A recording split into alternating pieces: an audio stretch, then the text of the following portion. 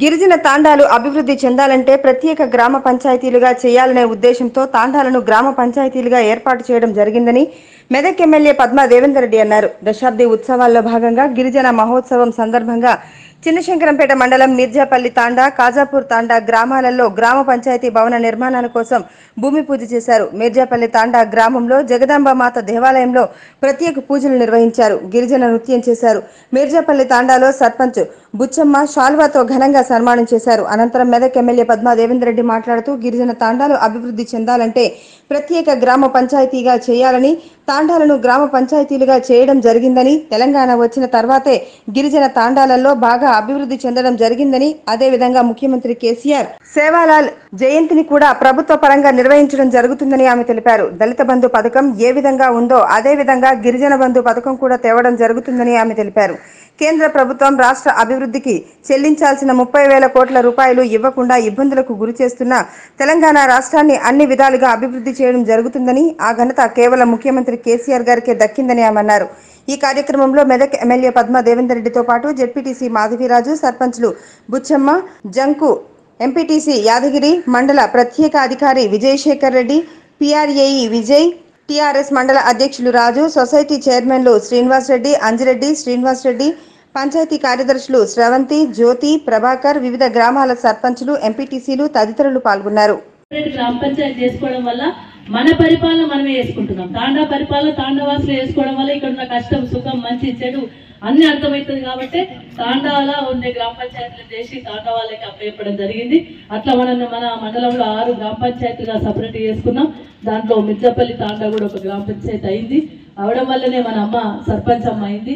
మరి ఇక్కడ ఉన్న పరిస్థితుల వల్ల మీకు మీరే పరిపాలన చేసుకోవడం వల్ల మా దృష్టి తీసుకురావడం వల్ల సమస్యలు కూడా తొందర తీరే అవకాశం ఉంటుంది.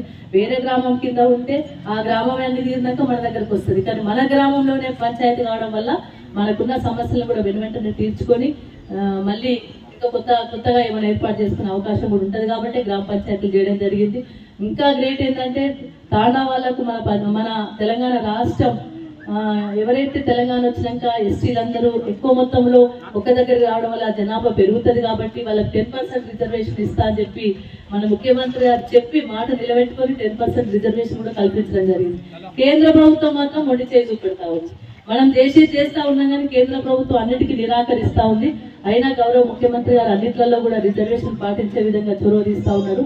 మన ముఖ్యమంత్రి గారికి ధన్యవాదాలు తెలియజేస్తూ ఇంకా కూడా ఈ గ్రామ ఈ తాండాలు ఇంకే సమస్యలు ఉన్నా తీర్చడానికి మేము సిద్ధంగా ఉన్నాం. మన నాయకులు కానీ మీరు కానీ అందరు చక్కగా పనిచేస్తూ ఉన్నారు. మీకు అందరికీ ధన్యవాదాలు. ఈరోజు తెలంగాణ దశాబ్ది ఉత్సవాల్లో భాగంగా మన సేవలాల్ మహారాజ్ జయంతి ఉత్సవాలను కూడా ప్రభుత్వం వచ్చినాక అంతకుముందు ఎవరు పట్టించుకున్నారండి?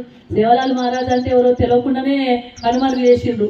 చరిత్రనే కనుమరుగు చేసిండ్రు. కానీ తెలంగాణ వచ్చినాక మన గౌరవ ముఖ్యమంత్రి గారు సేవలాల్ మహారాజ్ జయంతి ఉత్సవాలను ఘనంగా మనకు సంవత్సరానికి జరిగే ఉత్సవం రోజు అందరిని కలిసి విందిచ్చి గొప్పగా ప్రభుత్వ పరంగా జరిపిస్తా ఉన్నాం. ఎంత అంటే మన సేవలాల్ మహారాజ్ ఎంత గొప్పోడో ఆ గొప్ప వ్యక్తికి మనం గౌరవం ఇచ్చుకుంటా ఉన్నాం. అదేవిధంగా బంజారా భవన్ హైదరాబాద్ నగరంలో ఐదు ఎకరాలు ఇచ్చి బంజారా భవన్ కట్టుకున్నాం. అట్లనే మెదక్లో కూడా ఒక ఎకరం బంజారా భవన్ కోసం అని చెప్పి తాండావాసుల కోసం ఒక ఎకరం కేటాయించడం జరిగింది. త్వరలోనే దానికి ఒక అక్కడ బిల్డింగ్ కూడా ఏర్పాటు చేసుకున్నాం ఎందుకంటే మన జిల్లాలో తాండాల తాండవాసులు అందరు కలిపి ఒక భవనం ఉంటే గిరిజన భవనం ఉంటే అక్కడ అందరూ వచ్చినప్పుడు సామూహికంగా మీటింగ్ పెట్టుకునే అవకాశం ఉంటుంది కాబట్టి మెదక్లో కూడా ఒక మంచి ల్యాండ్ ప్రైమ్ ల్యాండ్ కూడా ఒక ఎకరం కేటాయించడం జరిగింది. అక్కడ